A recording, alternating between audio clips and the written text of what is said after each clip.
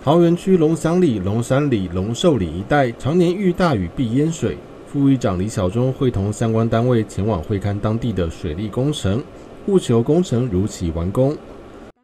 要挖地下箱涵，然后从龙山国小这一边借由围墙这边再中过分流出去，才会解决这边的淹水。当初淹水的时候啊，最高淹水这个深度有有到五十公分以上，连那个鱼都跑到人家家里的前面来，所以说这个一定要解决。集结大园站是许多机场上班族的转乘要地，但是机车停车位太少，机车族没位可停车。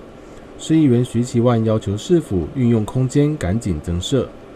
这机车格的方面呢，啊，你在整个这个停车场的计划当中，要重新再做规划，重新再做检讨。这个土地上先来做啊临时的一个汽车啊给停车格，大概四百两百位到四百个四百格嘛。我是希望说你一次就到位四百格。市议员陈美梅造访国小附设幼儿园，提到特教生的照护人力资源。他建议市府做弹性调整，提高助理员员额，以减低教师负担。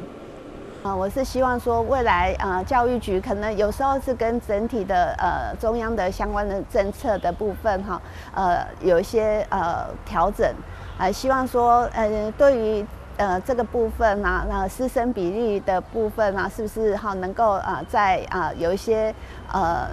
老师啊，或者是相关的辅导员的部分哈，能够再协助增加这样。运动风气盛行，市议员陈亚伦会看龟山运动公园，要求市府修复公园内损坏的硬体，让市民有更好的运动环境。